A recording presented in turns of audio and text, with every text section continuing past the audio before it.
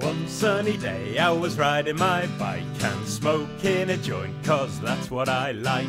A policeman stopped me and began to stare and he said, Hey sonny, what you smoking there? I said, It's a reefer, do you want some policeman?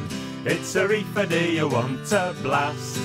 It's a reefer, do you want some policeman? Or would you prefer me to shove it up your ass? Well, he put me in his car and he left my bike and he took my reefer, which he quite liked. We got to the station and his eyes were all red. And the sergeant said, Constable, you're out of your head. He said, Yeah, it's a reefer, do you want some sergeant? It's a reefer, do you want a blast? It's a reefer, do you want some sergeant? Or would you prefer me to shove it up your ass? Well, he suspended the constable for his little joke, and he went to the bathroom to have a little toke. When he got back, I'd rolled another eight, and they were being passed round every copper in the place.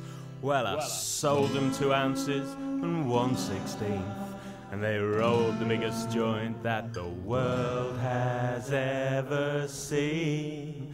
And they all sang together. It's a reefer, day, you want some mindless? It's a reefer, day, you want a blast?